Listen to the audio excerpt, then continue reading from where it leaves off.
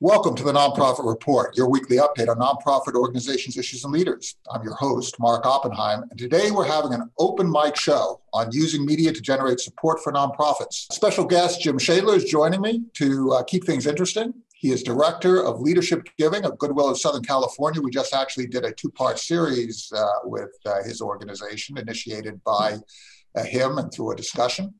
And he's had a really interesting career as a recording artist, nonprofit fundraiser, marketeer for a whole range of nonprofits. Jim, thanks so much for, for joining in. It's my pleasure. Thank you, Mark. Uh, Jim, you've had a fantastic career, so I have a burning question. Okay.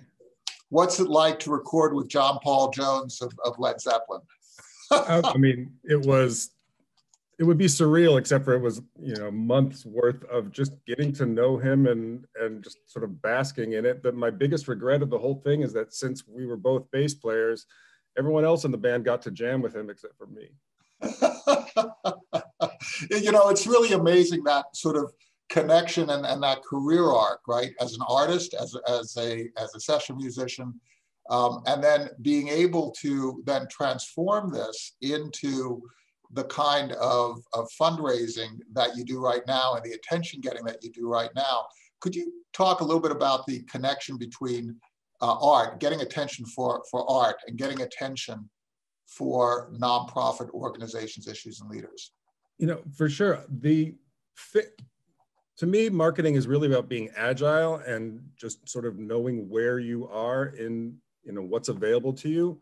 I was in a band back when it was really about tacking up flyers on telephone poles on Melrose Boulevard. And, you know, that's where you knew your audience was, and that's what you needed to do. And over the course of time, that has certainly changed. Um, I think obviously now being online, being the web is the tool, um, you know, perhaps more than television, more than that, certainly uh, less expensive than some of those standard means of communication. Um, and you know, my approach has always been it's it's not you know who you know, it's who knows you. Um, and uh, in terms of supporting art, supporting education, supporting good causes, it you know people want to help, people want to support. You know, maybe not everyone, but so many people do. And you know, if they can, they have the capacity to, to give, they have the willingness to give if they don't know about your mission, you know, they're going to give to somebody else. And it's about, you know, matching that affinity. Um, so, you know, oh, it's, in it's, a band, you, you make a flyer that sort of shows the personality of the band. When you're in a, an organization, you need to, to show people that if they invest in your nonprofit, what are the results? You got to show people that have been helped by your organization. You need to show that your organization knows what it's doing. Um, and you know, those are really the the keys. You know, for goodwill, our our challenge was that you know most people say goodwill they're great. I've heard about them. Everyone around the world has heard about goodwill. What do they do?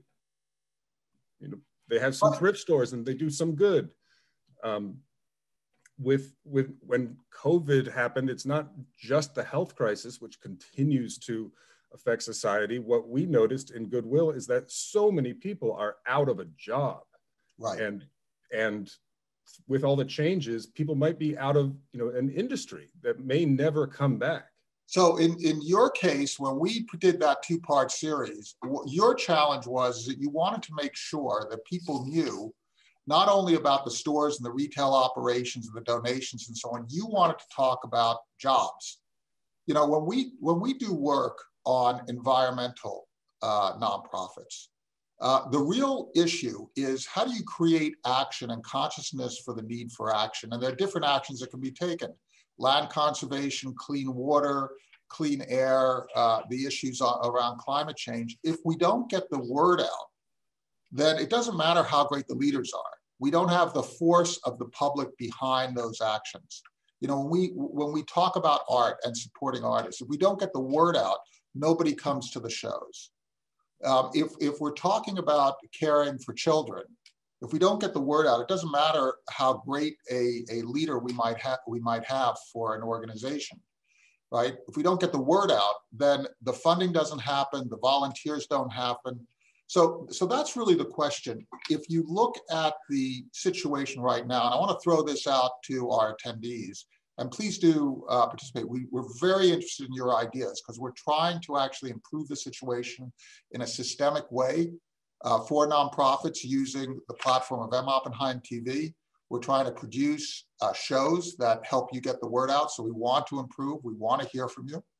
Um, the, the real question is, we can't afford as a sector to compete for advertising on broadcast networks, right? We can't afford to just do 20 second spots of, of public service announcements because people, it sort of goes over their heads. It's not engaging enough. So how do we actually do this? Do we do it through blogging? Do we do it through producing our own articles? Do we create our own uh, shows? Do we uh, work in, in partnership with organizations like, you know, the M. Oppenheim folks, so my, my company to get the word out? How do we do this, Jim? I mean, you're not just working with, with us, you're working with others as well. How are you approaching this? That is exactly the uh, issue that we were dealing with. Um, so when, when we recognized that nobody really knew that Goodwill is an expert in workforce development, and job placement. Um, we started this do good, do goodwill campaign, and it is just ramping up. And being on your show and the nonprofit profit report, that is, you know, one of our our first endeavors because we realize that that is the space that we need people to to recognize us, or one of the spaces. We're not just looking to you know advertise to the general public we want partners we want to be uh, you know, in the conversation in the nonprofit space where other people who maybe are dealing with veterans or homeless, um, you know, our friends without homes in Southern California, um, people uh, with intellectual disabilities, everyone who's helping people who are part of the crowd that we're helping, um, you know, with uh, barriers to employment, we want to talk with them. What are they finding out? Like how do we reach the people that that maybe need services who, who don't even realize that they're there? How do we reach the people who can help us serve these people and and combine forces because you know every nonprofit you know, is strapped to a certain extent we need to work together in order to help the people we want to help um, you know part of our Part we got a question from uh, Wafa Khannan, and uh, by the way, I, am I'm, I'm happy to uh, to uh, put you on uh, live, Wafa. Um, but um, just and if you if you want to do that, just just raise your hand um, through the system. Um, but one of the things that that uh, Wafa said is that we need to do public service announcements. My question for the group, for all the listeners, is whether public service announcements are enough right? If you get a, a 10 second spot on, on ABC or CBS or on uh, one of the other channels, Fox, and somebody gets up and says, help Goodwill, right? I mean, you're not going to say no.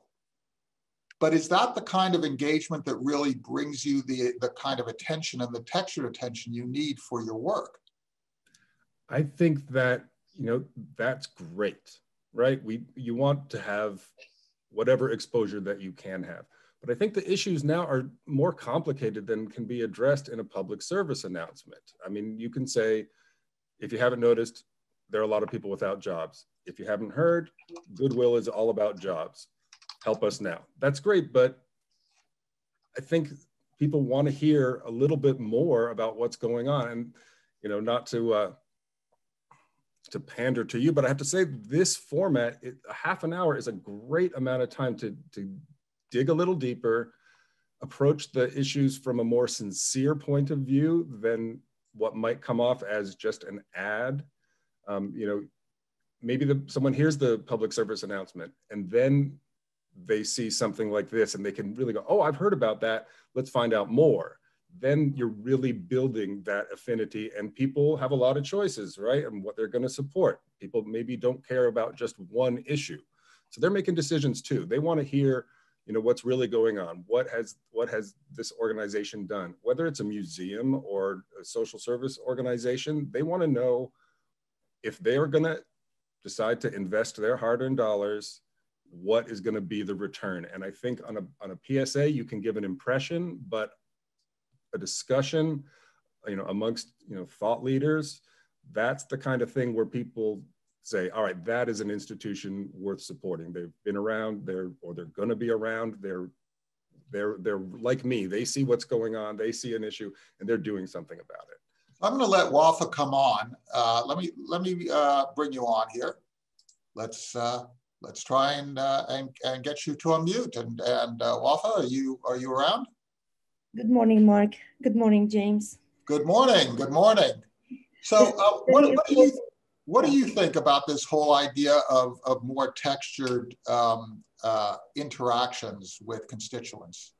Well, I, I think it's really important at uh, this time, especially with COVID 19, for all nonprofit organizations to come together and really like uh, highlight what they have done and collaborate on a campaign. And when I say public service announcements, that it could actually bring in all of these nonprofit within you know certain demographics and say, how can we uh, celebrate what has been done, how can we overcome the challenges, and then come up with a public service announcement where the media can get involved and you know be behind. Uh, so if it's homelessness, let's see how we could tackle. If it is, you know, um, lack of jobs, let's see what we can do. Maybe the collaboration with also with the ADD, for example, you know, maybe. So the, the partnership is very important, in my opinion, at this time you know, you're you're raising some really interesting uh, questions. Oh, and by the way, we can accommodate up to three guests simultaneously on this stream. So if anybody else wants to join in with WAFA, please uh, raise your hand. But you're raising some really interesting issues. I mean, one of the questions that we can look at is topicality, right? You mentioned homelessness, right? We could actually cross different organizations, and we try to do that in our nonprofit report series, where we have two or three guests simultaneously but you also mentioned demographics. I mean, we can also take a look at the kind of uh, issues that affect certain uh, peoples uh, and, and identified by uh, gender or orientation or race or, uh, or uh, level of, of, of, income. We can look at geography.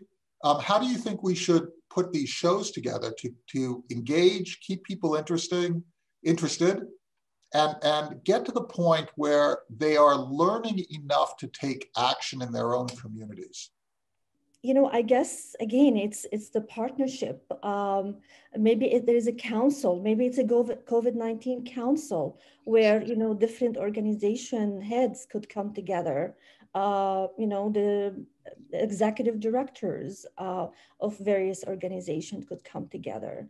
Uh, that could be maybe, uh, you know, the, the governor could be the, the head of that and say, what can we do if we're focusing only on, of course, on California, because I'm not sure.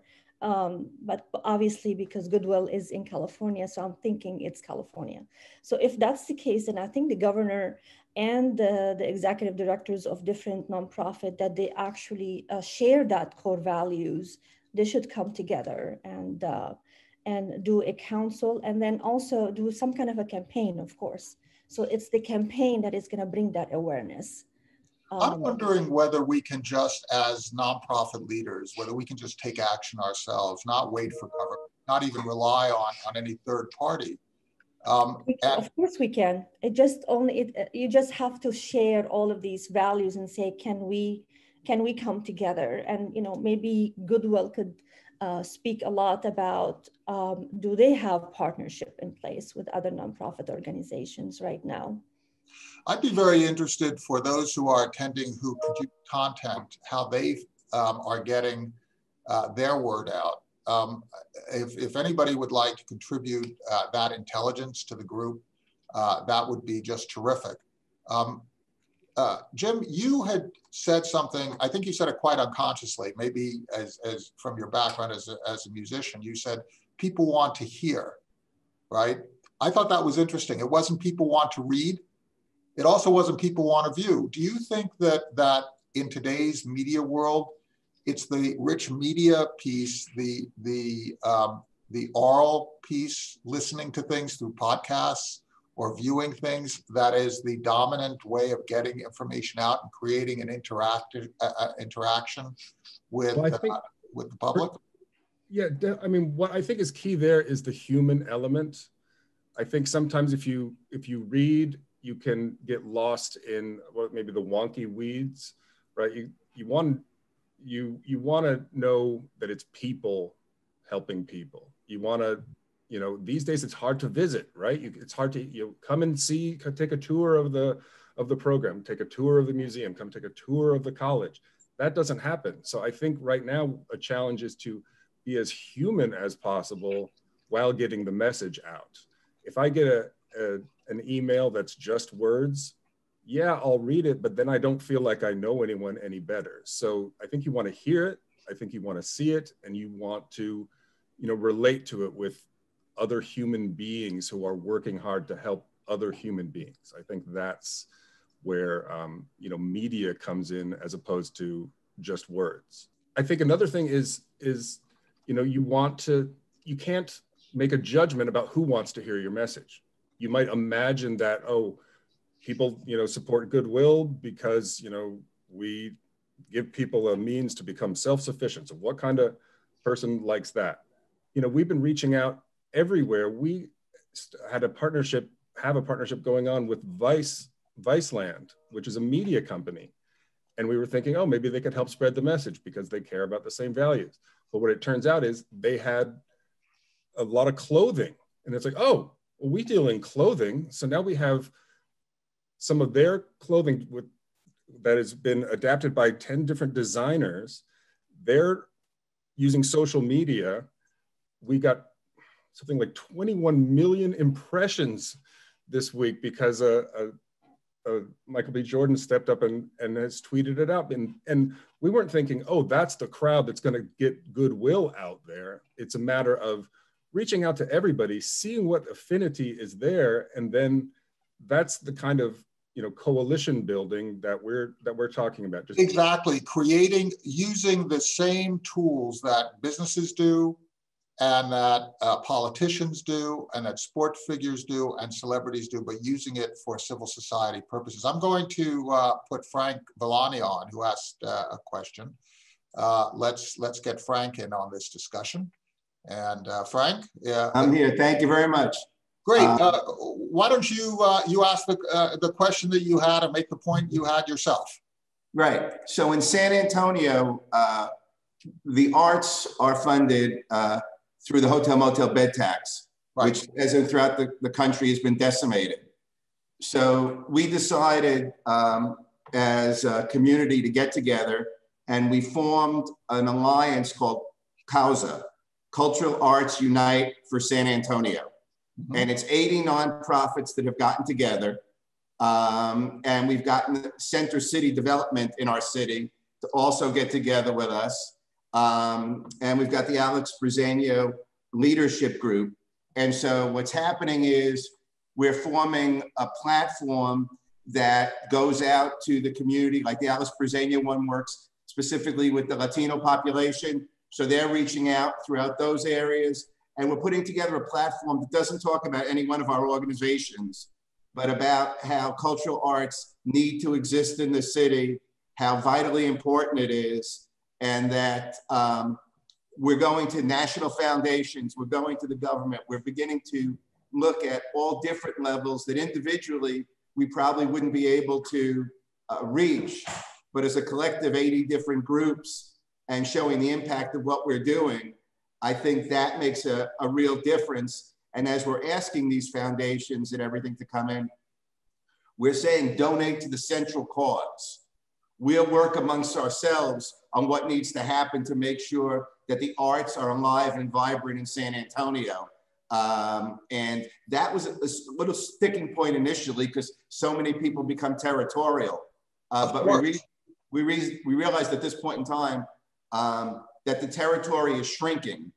And so the only way to make it better is to expand it uh, with a, a national and global reach, saying it's not one, it's the entire community that needs to get together we're so familiar with San Antonio, um, both on the nonprofit side as well as the, um, uh, uh, the, the nonprofit media side, as well as the search side. We did the search for the head of the San Antonio Museum of Art uh, for Art Pace We know about the Witte. We know about that ecosystem, the McNay. I mean, great, great institutions. But it is true that sometimes these institutions function in a way that are that's very separate. Where, as your point is really important, right? The ecosystem is the same. The audiences move from institution to institution to institution. So if we start managing these ecosystems like it's uh, it, it's Major League Baseball, right, where the health of the whole is really important to the health of each individual institution. Really, really important strategically, right? Exactly. I mean, uh, uh, you know, the, when you talk about the Witte, I mean, uh, Maurice is one of the, the driving forces on the resource committee, like I am, and that's one of the things that we talk about is that um, the cross pollination in a community like this is so important, um, and that what needs to happen is exactly like you were saying, James. So many people say, "Oh, I know I know Magik Theatre, I know the Witte, but you don't realize everything that these arts groups are doing and what the impact is to the overall community. And in this way, we're getting out and saying impact is what's important at a point where mental health is being drained left and right. That's now, so true. Now, I have a question for for everyone who who is on, and please others uh, join in. Uh, one of the things that we're trying to do is to create a revenue stream to content producers covering the nonprofit sector, right? We're struggling with this, uh, but it's really important that we have a cohort of people who are talking about nonprofit organizations, issues, and leaders in San Antonio, you know, in Los Angeles, uh, in rural America. It's really, really important because if we don't have that ecosystem, if people aren't reporting on the work of nonprofits, then um, we can't uh, gather the attention of the general public. Um, how do you think we can go about this? Um, one of the ways that we're trying to do, do this is to create a fund in which um, uh, we are we are paying uh, interns and uh, seeding those at different PBS stations. Right, we have a lot of PBS partners from our Insight series, and making sure that they're covering their nonprofits in, in certain regions. Um, do you think, um, you know, from your perspective, um, uh, uh, uh, Frank, that that kind of play uh, in a San Antonio would work, where we actually have a few reporters who are just focused on nonprofit organizations, issues, and leaders, because the local media has has suffered uh, in, incredibly in San Antonio. Yeah, I think that you know that to us was the the key um, in also trying to expand the idea beyond just the arts by going to Center City and talking about Center City development. And uh, as you know, that uh, there was an uh, organization here called the Rivard Report. It's now morphed a little. Um, but the, the, key is that um, because of the decimation of a lot of the local media, uh, the arts wasn't being covered at all. So right. the, the real issue is, yes, getting into those areas and developing, as you said, your own content, which is what we're doing for the 80 collective groups. So you can give them the stories, you can give them the platforms, and they're able then to use them um, in a way to get across that message. And I think that message has to be a universal message. Uh, and that was one of the things that we kept saying. Um, that exactly like you were saying with goodwill what what is going on that we're doing that's bigger than any people coming to the Magik Theatre here where children come and children can't even access the schools or anything what are we going to be doing it's more about we need to reach out to young people we need to reach out to elderly all the way across the board so i love that idea mark Great. I'm going to try and bring on uh, uh, Stacy Buchanan in here. She warns us that she has dogs in the background, but Stacy, you know, this is the modern uh, communication age. So I'm, I'm putting you on. Uh, you had said um, in, in uh, one of your questions that we're not just talking about money, it's also about volunteers. One of the things, Stacy, that I'm really concerned about is that we seem in the nonprofit sector to have the um, the problem that Jim Cheydleur was was uh, was mentioning that some of our programs, some of our work is invisible. So how do we create visibility? How do you how do you see this in terms of creating visibility so a volunteer knows that there's a need that, that he or she can fulfill, particularly in this time of pandemic where people are trying to find ways of making a positive contribution? Well, I actually used to work for Goodwill Southern California as part of their, their donation drive program. Oh, and, really? Yeah, and that was an excellent way for us to partner with other nonprofits throughout Southern California. And one thing I always thought we could always have done better was cross promote each other's organizations. Because if on our Facebook page, we can say, hey, look, we are working with this organization, and then they could do the same, we could get all of our missions out and really better publicize all the good work that so many people are doing. And just the different ways that we partnered throughout um, the Inland Empire and Los Angeles County. It, it was a great avenue. And also, I know um, Goodwill does the, the stand downs for homeless veterans, which they brought together amazing resources and really, you really felt like you were helping that population, but I think it could be even bigger. I'm also pretty, go ahead. Yeah, I just wanted to say it seems like a theme here is is collaboration, you know, and and I think that will help get over a couple of hurdles.